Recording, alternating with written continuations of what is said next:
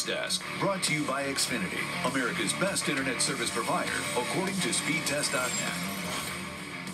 The WNBA has plans to start the 2020 season. They're looking at 22 regular season games plus playoffs, all to be played at one spot in Florida. Now, that target date is set for late July, so teams like the Connecticut Sun don't have a lot of time to prep, but they know there's a huge opportunity in front of them we are going to get eyes on our game like we've never got before. There's a starving for sports in this world right now. We still have to balance that out with providing them a great opportunity to put the best product that we can on the floor and players have until June 25th to opt into the season.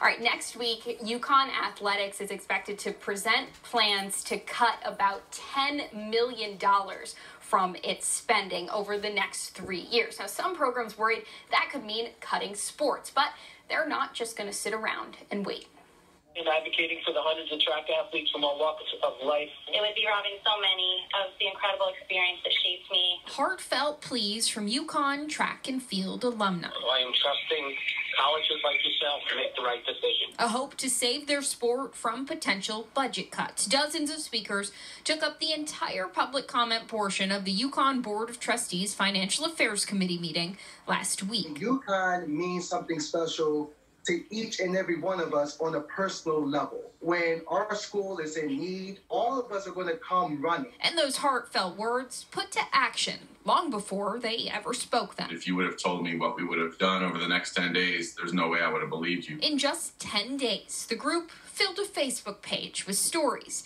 spanning decades and raised more than $1.5 million. At the end of the day, this is a partnership between the alumni and the, the university administration and the athletic administration. And they're not going it alone. UConn men's tennis alumni have taken on the same challenge. It's the last um, uh, state sponsored men's varsity tennis program in New England, period. This alumni group trying to save a program in hopes of helping a whole sport. So far, they've raised more than $300,000 in pledges. It would be unfathomable to, for me if uh, my alma mater gave up on, on, on tennis. And, and so I'm going to do whatever it takes. But for tennis and track, the one thing they won't do is get frustrated. It's unfortunate that the situation is what it is, but you just have to have trust and faith that they'll be able to do what they feel is best fit, and we're going to support that.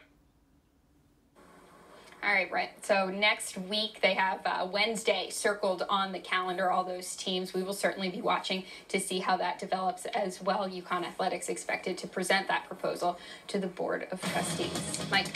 That support is amazing. Thanks, Gabby. We'll be right back.